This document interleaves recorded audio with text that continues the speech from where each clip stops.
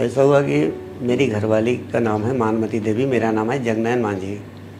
मैं इंदिरापुरम कॉलोनी में रहता हूँ, प्रतापपुर, मेरठ ज़िले में, जल फर्टिलाइज़र में जॉब करता हूँ। पर वहाँ पे हमारी घरवाली को राइट साइड छाती में गांठ सी हो गई थी छोटी सी। मैं प्राइवेट वहाँ पे इलाज कराया, मेरे को सही नहीं हुआ, पर डॉक्टर हमें सलाह दिया कि पहले ट्रीटमेंट कराइए, उसके बाद इसको देखी जाएगी। मैं सुभारती में ट्रीटमेंट कराया, उसके बाद में छाती में गांठ निकला तो बताया कि ये हमारे बस का नहीं है सुभारती वाले बोले, और आपको पैसे बहुत खर्च आएगा। तो मैं बोला कि मैं प्राइवेट से हूँ प्राइवेट सर्विस करता हूँ, मेरे एस कार्ड है। फिर उसके बाद में वो छोड़ दिए मुझे, फिर मैंने आकर के एस में अपने मिले।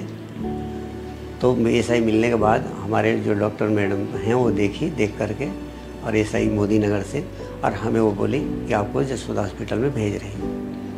वो हमें वहाँ से यहाँ के लिए लिख करके दे दी परमिशन दे दी और हमारी घरवाली के यहाँ पर लेकर गए। 20 फरवरी में आए और यहाँ पर इलाज चलना शुरू हो गया।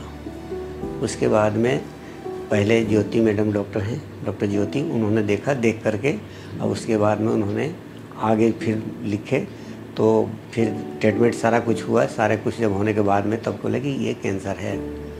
फिर उसके बाद में सर्जरी वाले डॉक्टर त्यागी जी हैं।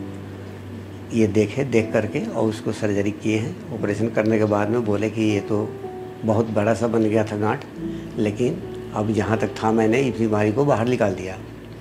तो उस टाइम से दवाई इलाज चल रही है और कोई दिक्कत अभी तक तो नहीं है, और दवा चल रही है।